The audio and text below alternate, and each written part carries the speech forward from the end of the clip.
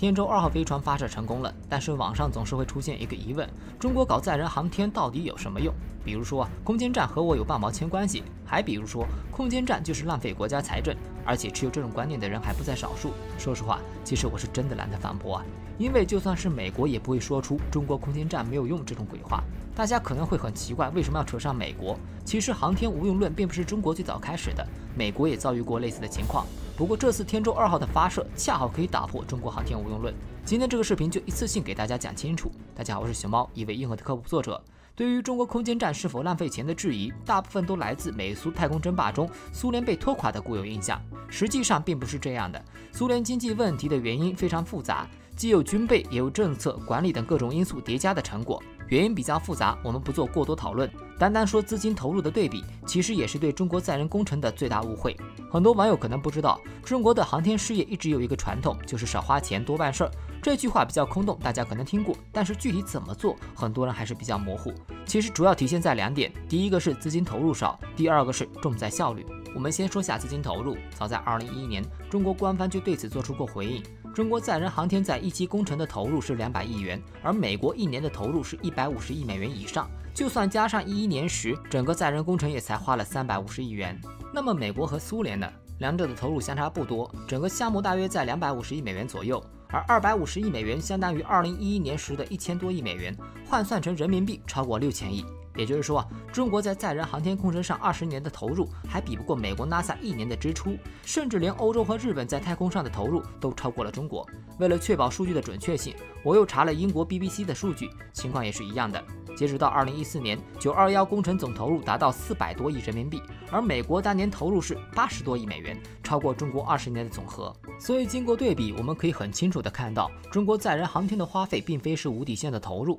说完资金投入，我们再说第二个点，效率。实际上，为了节省经费，中国科学家在制定计划时，从来都是遵循一个原则：试验即掌握。简单来说，就是掌握该技术后才去实践。如果不掌握该技术，宁愿不发射。所以，中国航天的火箭发射几乎数十年来无一失败，效率高得惊人。而效率也意味着省钱，而这才是中国这么多年来航天成功率如此之高的真正原因。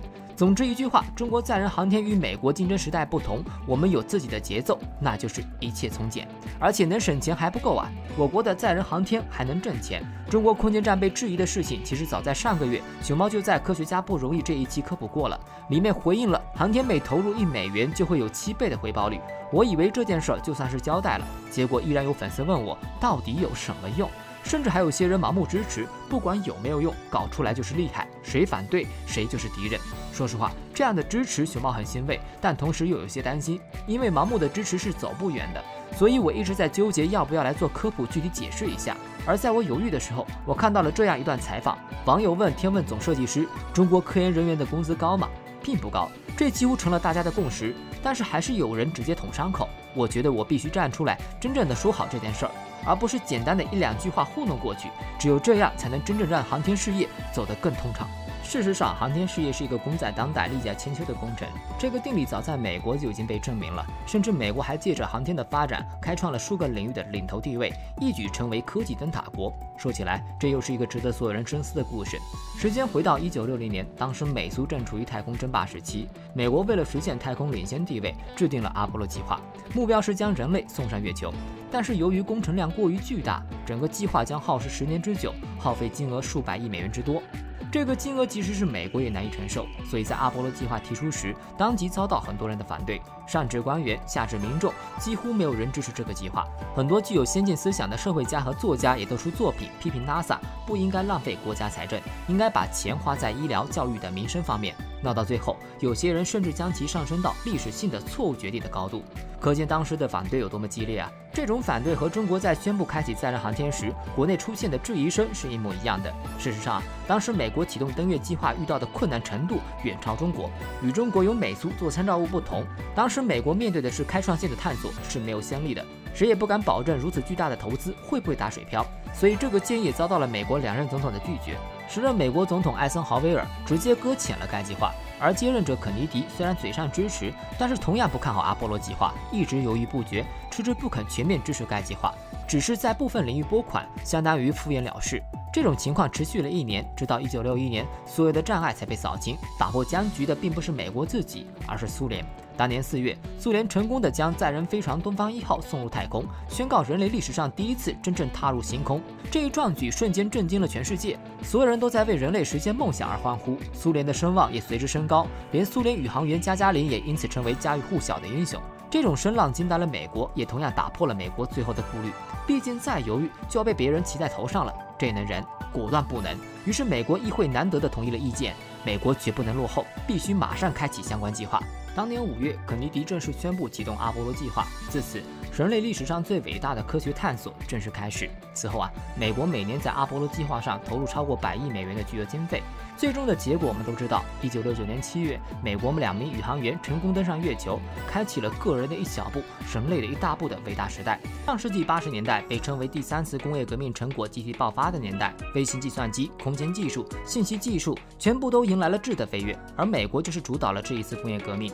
在数次技术变革中，相继诞生和推动了微软、谷歌、IBM 以及苹果等赫赫有名的世界科技巨头。这些巨头大家或多或少都听说过，但是很多人不知道的是，这些巨头所在的行业技术都有阿波罗计划在推动。这么说大家还会有点懵啊。我们以计算机巨头 IBM 为例。它的所有成果几乎就是美国阿波罗计划最杰出的结晶。由于登月是一个极其复杂的过程，所以每一次登月都需要在地面上进行前期的模拟，比如飞行路线模拟、宇航员模拟训练以及飞行器控制模拟等等。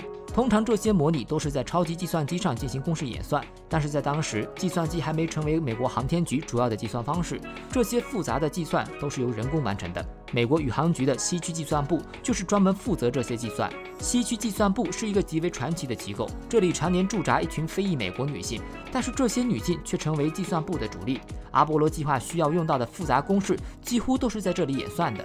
美国有一部电影《隐藏人物》，就是根据西区计算部进行改编的，里面讲的就是非裔美国女性拯救了阿波罗计划的故事。但是与电影不同的是，现实中的工作要困难得多。阿波罗计划到了后期，公式越来越复杂，人工渐渐感到乏力，而且极容易出错。于是当时的西区计算部主管多罗西·约翰逊·沃恩就提出采用电子计算的方式来代替人工计算。此后才有了 IBM 入局 NASA 的事情。IBM 大家可能不是很熟悉啊，不过提到现在的电脑，大家应该就不陌生了。可以说，我们现在使用的电脑就是这家公司推动的。IBM 诞生于1924年，是美国计算机行业赫赫有名的企业。在1960年时，IBM 就开发出了360系列大型计算机，奠定了 IBM 在大型机称霸的地位。所以 NASA 这才邀请了 IBM 加入阿波罗计划，负责开发操作系统以及航天计算机。最终，IBM 投入了四千名编程人员、科学家以及研究员，成功开发出相关技术，并且开发了微型电路，将原本房间大小的大型计算机缩小到只有冰箱大小。IBM 也借着微型电路推动了个人电脑的发展。可以说啊，我们现在用的电脑、手机，甚至是芯片，都是由 IBM 微型电路的基础上发展而来的。美国也凭借着相关的技术优势，在半导体行业、计算机技术和操作系统上取得了先导优势。而有了先导优势，波音、谷歌、高通的高科技公司在美国的出现也就不奇怪了。实际上，阿波罗计划推动产业发展的还有很多，比如依托空间技术的美国 GPS 被用于直播阿波罗登月，高性能的合成材料被用于制造探测器和登月设备，信息技术被用于阿波罗计划成百上千个系统等等，还有航天医学、航天生物，甚至连我们现在吃的一些粮食种子都与航天大有干系。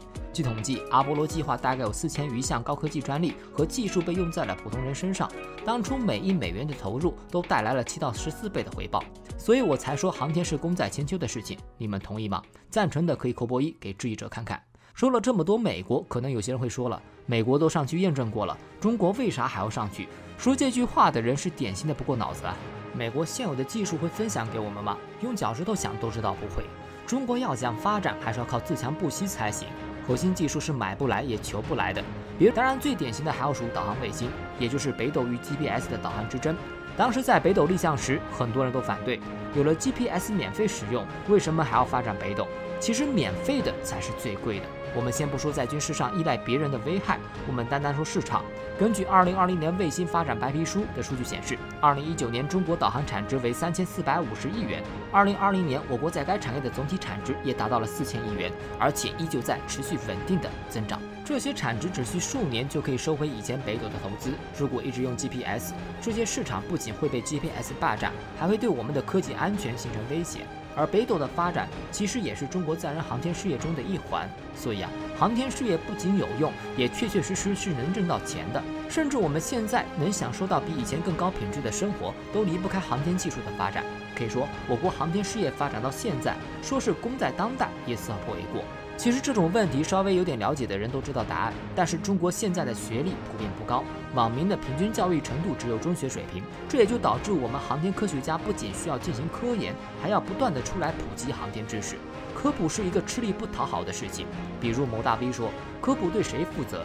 但凡说出这句话的人，基本上就是对科学家和科普事业乃至国家战略一窍不通的人。大家可以看看这个视频，就知道国家是怎么定义科普的。说实话，我特别能理解，就像我做的这期视频一样，其实也是得不偿失。科普的不够仔细，会被某些人带节奏；科普对了，他们又会说何必与他们见识。粉丝也会说认真你就输了，结果就是两头不讨好。如果要问我为什么还要坚持下去，应该只有一个原因，就是真的心疼这些科学家，不希望他们受到半点委屈。我们回到话题来啊，那么这次天舟发射的意义在于哪里？为什么说它也能打破航天无用论呢？这就要介绍下天舟二号了。天舟号系列飞船是天宫空间站的货运飞船，承担空间站的物资运输任务。说白了，其实就是个快递小哥。但是这个快递小哥的意义可不小，因为他在空间站的建设任务中起到了承上启下的作用。啥意思呢？在我国航天的规划里，天河核心舱是作为空间站的核心存在，所以才冠名为核心舱这个词。然后再在两年内发射天舟、神舟、实验舱的十一次任务进行补给和组装。也就是说，整个空间站其实是围绕天河核心舱进行建设的。所以核心舱成功与否非常关键，但是航天发射又是一个极为精密的过程，不是说你发射上去就算成功，还要检测各种设备以及核心舱的性能能否正常运行。四月份天河核心舱发射时，很多人都很奇怪，为什么要隔一个月再发射天舟二号货运飞船？就是这个原因，目的是为了确保核心器件万无一失，然后才会在这个基础上进行组装。天舟二号的发射就可以说明两个问题：一是天河核心舱性能完好，已经验证完毕；二是中国将正式开始密级的发射计划。也就是说啊，天宫空间站基本稳了，大家可以放心了。那么为什么说它能打破中国航天无用论呢？这就要说到天舟号系列的黑科技了。早在天舟一号时就突破了众多的技术，比如这些。当然这些技术大家知道就行，我们不多聊。这次要聊的是一项基础材料纳米，但是在太空中你又不能直接放上一个日常用的冰箱。这样会非常浪费电能，一般是采用特殊材料制成的低温冰柜。这种材料就是气凝胶，它是当今世界上已知的最轻的固体，但是隔热和保温性能非常出色，可以把冰柜打造成超级冰箱。当然最关键的是啊，这种材料是可以应用到我们生活中的，比如说消防领域，它是可以作为防火设备材料。像我们最关心的消防员安全问题，在日常设备中加入了这种材料，也能提升消防员的安全保障。还有特殊管道保温，可以用来保证油气等运输和保存问题。有了这种材料，像美国天然气被冰冻导致大面积停电的事故就不会发生了。还有我们人人都可以用到的建筑领域，采用了这种材料，做到环保节能、冬暖夏凉，可是大有希望的。说实话，天舟二号的气凝胶只是其中应用的一部分。我们每一次科技突破都是可以为人类带来好处的。也希望大家看完这个视频能有所收获。当然啊，最后也希望大家能多点赞，可以让这个视频被更多的人看到。好了，我是熊猫，我们下期见。